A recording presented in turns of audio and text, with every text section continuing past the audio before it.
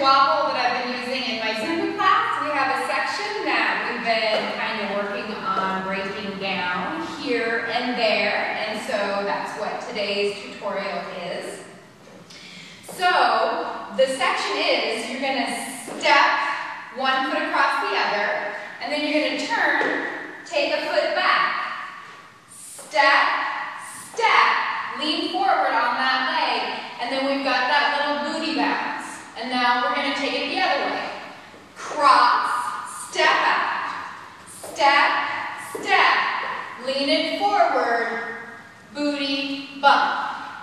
Cross, take it back. Walk it forward, booty bump. Cross, take it back. Walk it forward, booty bump. Adding in those arms. You're going to cross, take it back. Step, step, booty bump. Cross, take it back. Step, booty bump.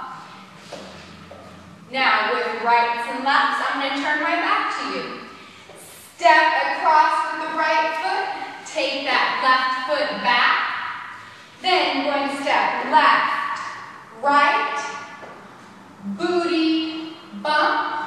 that left booty.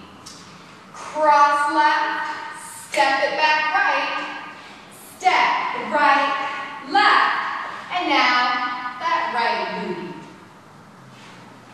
All right, let's try it with some music.